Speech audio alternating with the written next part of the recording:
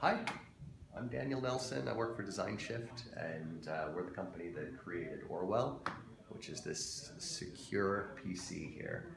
Um, and I'm just here to show you a little bit about how it works.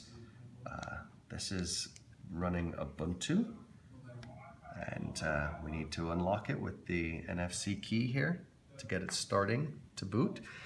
Um, and then it's going to boot Ubuntu from that point on the way any normal PC would work with the operating system.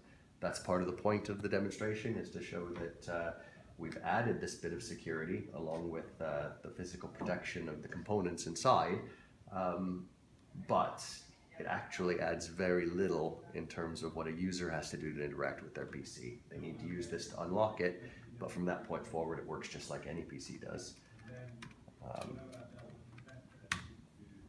what we're picturing uh, for uh, people that are interested in using this is uh, just about anybody uh, that has an interest in keeping their data private. That might be um, people who have a formal obligation to keep their data protected, like uh, doctors and lawyers, people who work in fields where the data that they have control over, they actually have an obligation to keep it safe.